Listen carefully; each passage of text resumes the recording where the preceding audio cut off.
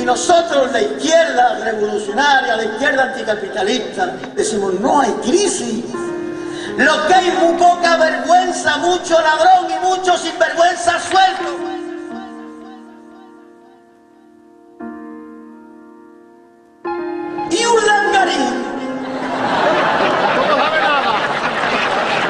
Se ha llevado el canalla miles de millones.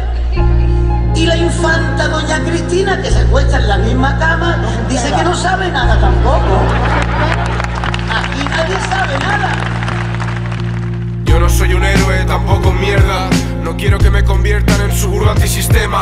Solo aportar algo en la lucha, sin más. Ya me puse la capucha y la lié en la oscuridad. Puedo flipar viendo chavales con 17 años, rimando mejor que esas putas vacas sagradas. Creo escuela mientras otros la maman por festivales. Esto va más allá de canciones banales. Creen que valen lo que vale su caché.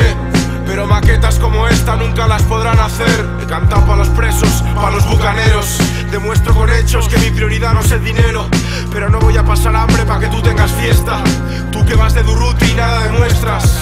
Si aún comparas a Stalin con Hitler, no te enteras de la movida, aunque saber mucho finges. ¿Eres gilipollas? ¿No puedes ir con más cuidado? ¿Dónde coño crees que estás? ¿Es que no sabes conducir, capullo? Perdone, señor, lo siento mucho. ¡Cabrón!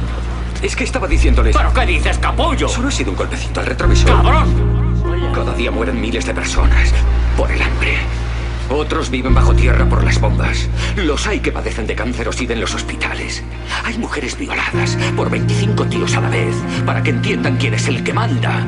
Y a ti, a ti te ha pasado una cosa terrible. Te han rozado el retrovisor. Bueno, está bien. Cálmese, señor. Mira bien estos árboles, con sus hojas moviéndose al viento. ¿Ya te has fijado en ellos? Y tu hermosa mujer que envejece metida en la cocina haciendo tortillitas mientras tú la engañas. ¿Has mirado a tu mujer?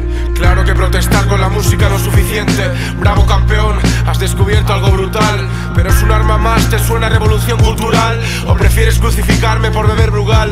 Marx nunca dijo que vender arte fuera malo. Y aún así decenas de temas y poemas regalo. Si luego me llamas vendido por poner entrada en un bolo, tienes un retraso heavy y la revolución no necesita mongolos.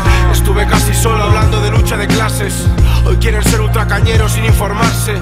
No quiero el podio del rapero más cañero. Ojalá pronto salgan 100 que me dejen como suave. Cuando la paciencia acabe, quién sabe.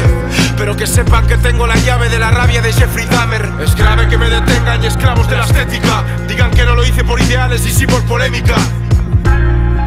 Creen que todos somos de su condición.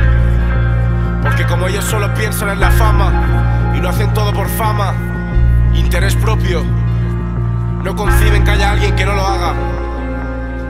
Por eso te acusan de buscar la fama cuando te detienen, por protestar por algo que también les afecta a ellos.